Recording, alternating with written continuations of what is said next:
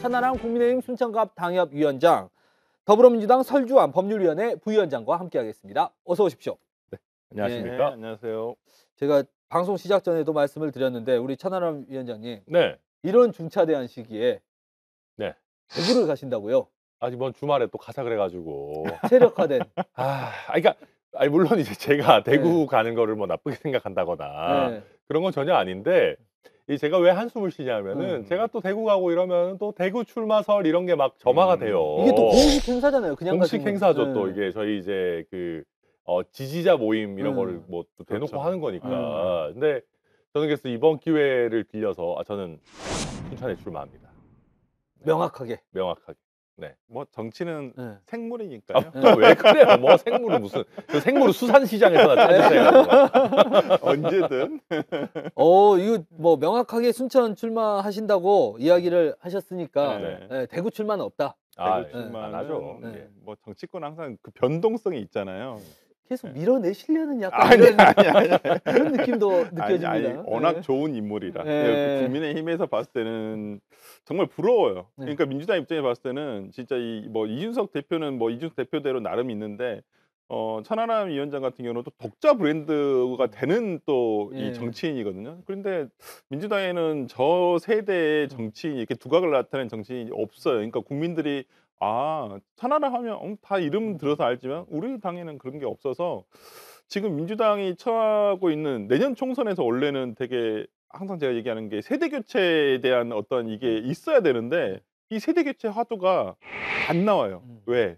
친명, 비명으로만 지금 나눠져 있기 때문에 저는 오히려 지금 민주당이 오히려 정말 위기이지 않을까. 뭐 음. 너무 무거운 주제를 처음부터 꺼냈는데 어, 그렇습니다. 이런 음. 사실 이거 그냥 뭐랄까요 신변잡기식 토크였는데 예. 아, 이렇게 교훈을 갑자기 이렇게 예. 심어주는 겁니까 지금? 갑자기 마, 답답해가지고. 예. 민주당 어렵다고 뭐 하지만 국민의힘도 마찬가지입니다. 그래서 첫 번째 주제가 이제 김기현 대표가 슈퍼 빅텐트론을 꺼내 들었습니다.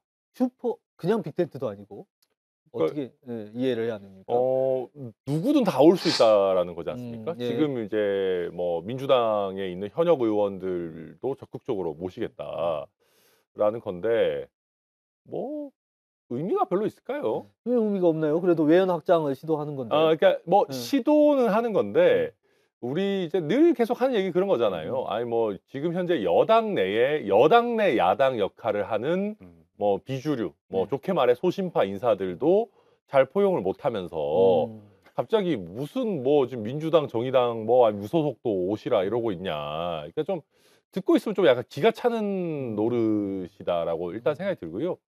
그러니까 무엇보다 옛날에 이제 그 보면 홍, 노홍철 없는 홍철 팀 이런 게 유행이지 않았습니까? 예, 예. 그러니까 김기현 대표가 뭐 텐트를 뭐 치는 것까지 하실 수 있을지 모르겠는데 치고 나서 그 텐트가 김기현 대표 걸까요?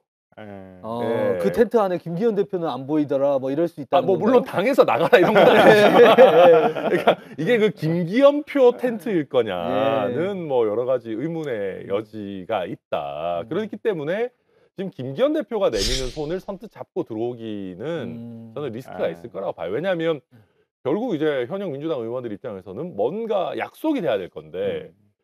김기현 대표가 하는 약속을 어디까지 믿을 수 있을까? 이 음. 현실적으로 쉽지 않은 얘기들이라고 봅니다. 그 권한 자체가 언제까지 또 얼만큼 있는지에 대해서 아직 명확하게 당내에서 인정되지 않았다. 그렇죠. 예. 음. 민주당에서 음. 지금 가장 이야기가 되시는 분이 이상민 의원. 예, 이상민 대전의 의원. 이상민 음, 의원이 음, 혁신이 강연도 하시고 음. 그러면서 민주당 안에서는 뭐 질식할 것 같다. 네. 근데 이렇게 기회를 주고 어 그래서 내가 와서 강연한다. 이렇게 또 인터뷰도 하셨단 말이에요. 음. 갈 거라고 보십니까?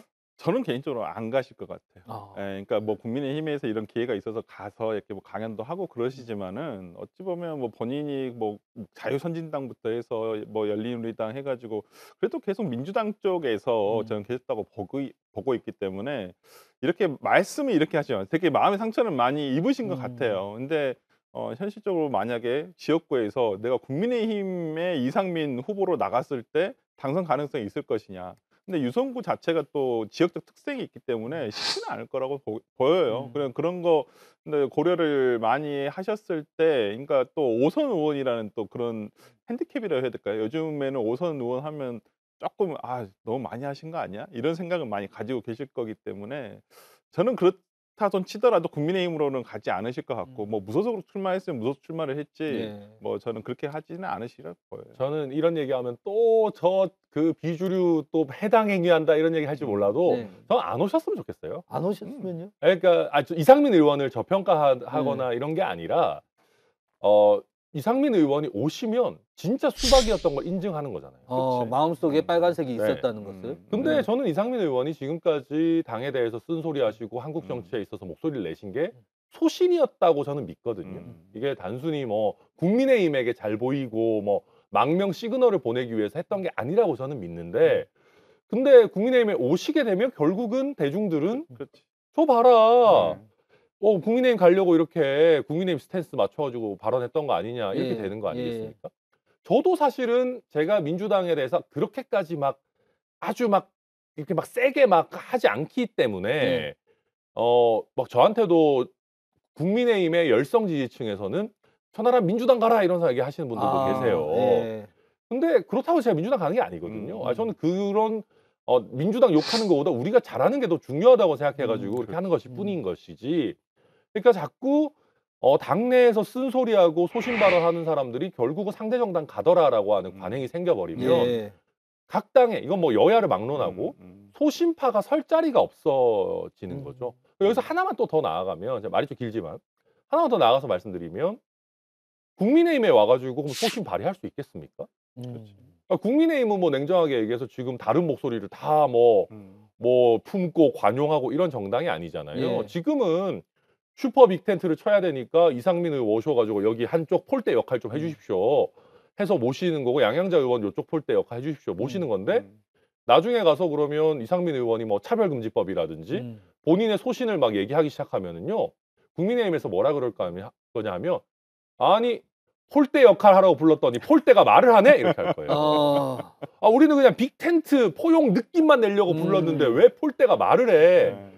네. 어, 그렇게 해서 또 타박할 겁니다. 음. 그 안에서도 자기 정치를 하기는 너무 어려울 것이다. 쉽지 않아요. 네. 이게 제 이 민주당의 박지원 비대위원장 같은 경우도 보십시오. 예.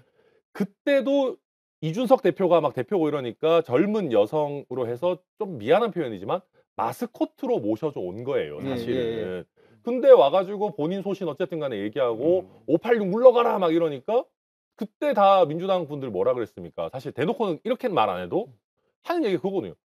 아니 이 젊은 느낌적인 느낌만 갖다 쓰려고 마스코트로 불렀는데 음. 마스코트가 왜 말을 해? 예, 자꾸 자기 의견을 이야기하고. 그렇죠. 예. 그렇게 하면서 박지원 비대위원장도 바로 사실 내쳐지는 거거든요. 예.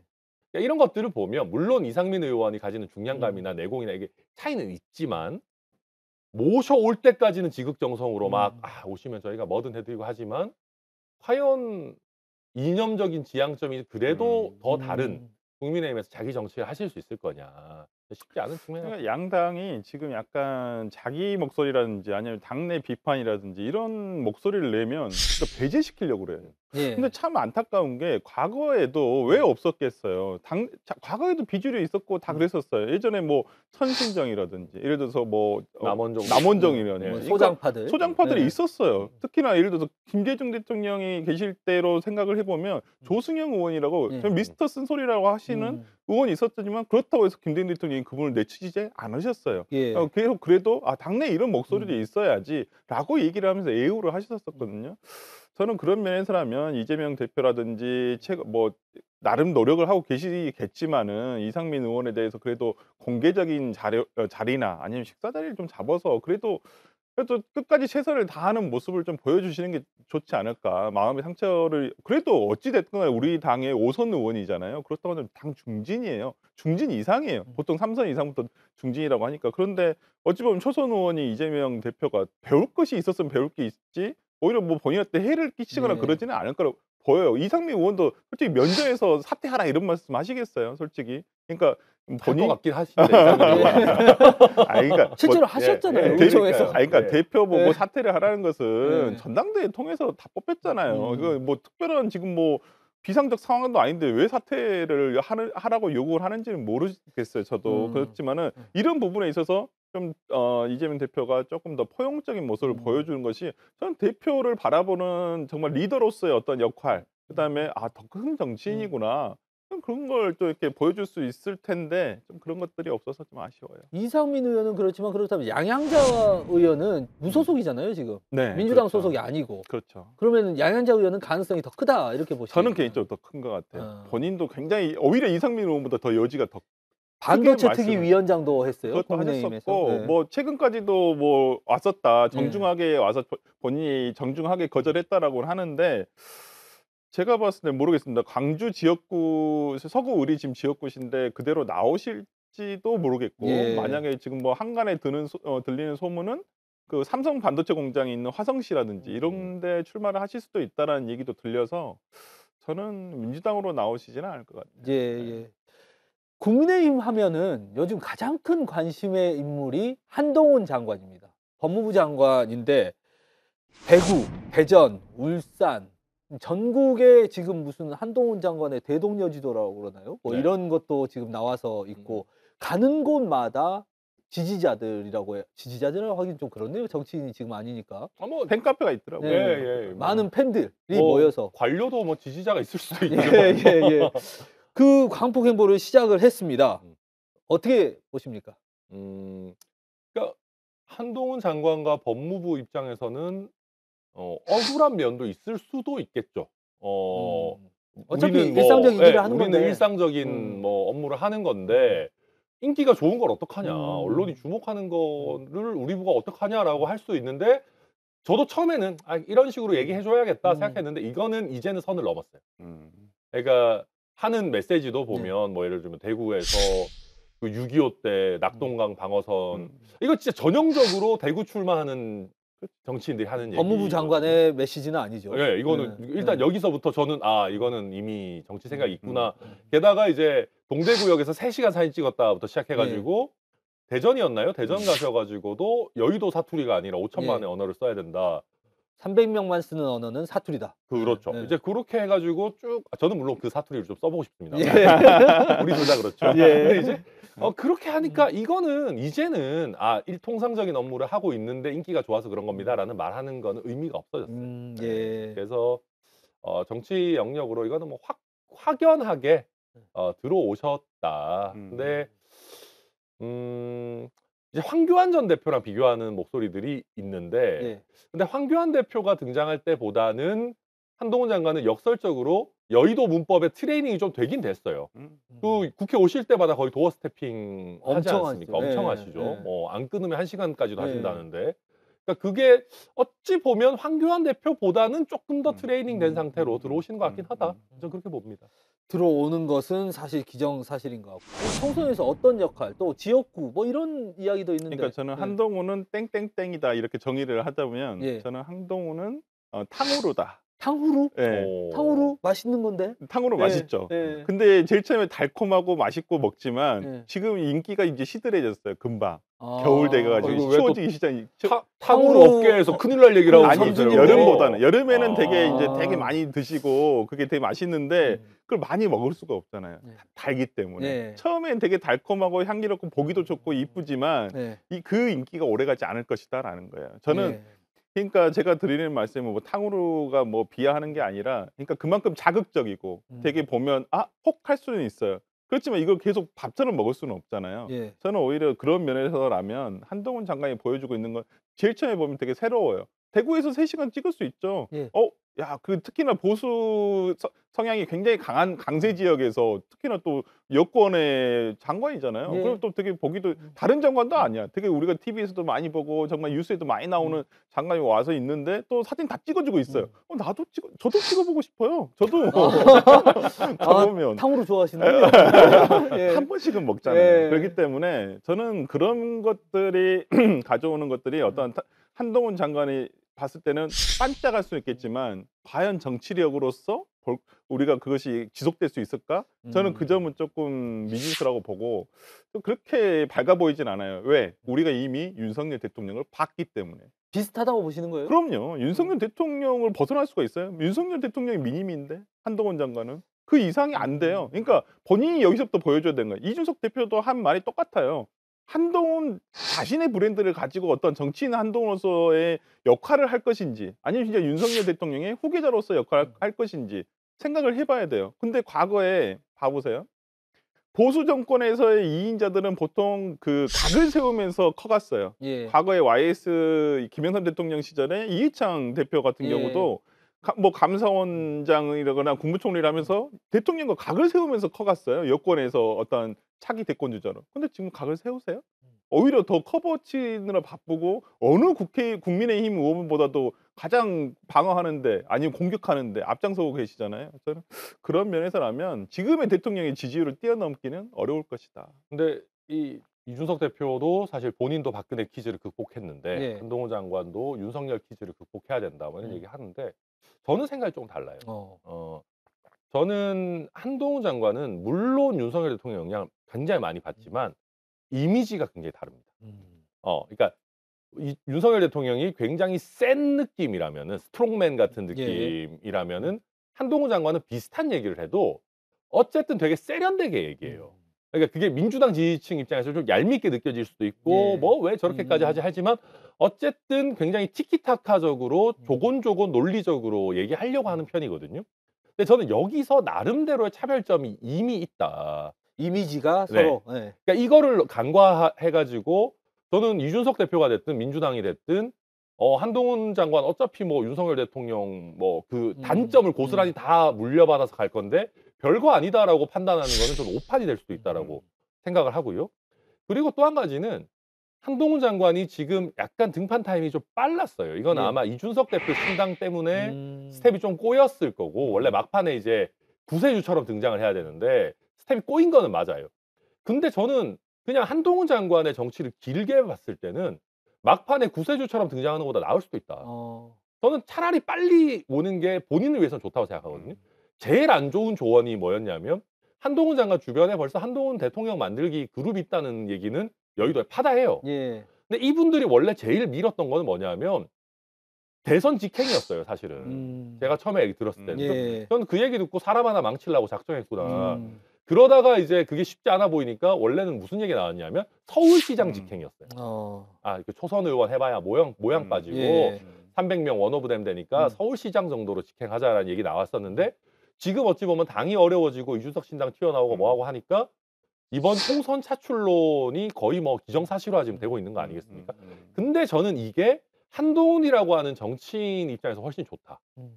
왜냐면 트레이닝을 해야 돼요. 예. 갑자기 나타나서 잘한다 이런 거 없어요. 맞아요. 네. 그러니까 저는 그 얼마 전에 뭐 300명이 쓰는 사투리, 여의도에 300명이 쓰는 음. 사투리라는 말 표현이 그게 대통령하고 똑같아요. 그 의회 경시가 있어요. 음. 그러니까 의- 여의도에 대해서 불신. 예. 그러니까 아니 그 300명 안에는 국민의힘 의원들도 3분의 1이 있어요. 근데 왜 거기에 그 싸잡아가지고 그걸 얘기하는지는 잘 모르겠어요. 그러니까 이 인식 자체가 아 국회는 아 말만 많은 데야 시끄러운 데야 오히려 이런 경시 사상이 좀 생각이 들어서 아 저분들도 좀 그러나 근데 대한민국은 의회 정치가 기본이에요. 지금 봐보세요. 예. 지금 나라가 어렵고 왜 협치가 안 되냐 이런 게 여당은 다수당이고 음. 그다음에 대통령은 여당인데 소수당인데 아니 아예 손을 안 잡고 야당 대표도 안 만나고 전혀 협치가 없잖아요. 그러니까 협치가 기본적으로 이루어야 되는 어 대한민국의 시스템이 있는데 그 입법으로서만 되는 거잖아요. 예. 근데 그런 걸 아예 안 하겠다는 생각이신지 그래서 음. 저는 그 표현이 그렇게 아 달갑지만은 않았어요. 아 예. 번뜩이다는 생각도 별로 안 들었고 아 음. 저 사람도 대통령이랑 별로 이, 이 국회에 대한 의회에 대한 인식이 상당히 안, 뭐 별로구나 저는 그 생각. 아니, 그냥 뭐 예를 들면 이제 국회가 그만큼 민심과 동떨어져 예, 있다라는 예, 예, 레토릭일 예. 수도 있는데 예. 이런 레토릭도 사실은 이제 많이 써먹었어요. 예. 네. 그 원희룡 장관 음, 네. 인천 계양에 출마할 수 있다. 음. 어디 가능성은 어떻게 보시고? 그러니까 원희룡. 장관은 네. 저번 대선 때부터도 느낀 게 뭐냐면 네. 아, 막 길을 쓰고 막 이렇게 뛰어요. 네. 근데 다가갈 수가 그러니까 정말 자기는 길을 쓰고 뛰지만 어, 옆에 보면 정말 더 잘하는 애들이 뛰고 있거든. 근데 어. 정말 안타까워요 보고 있으면.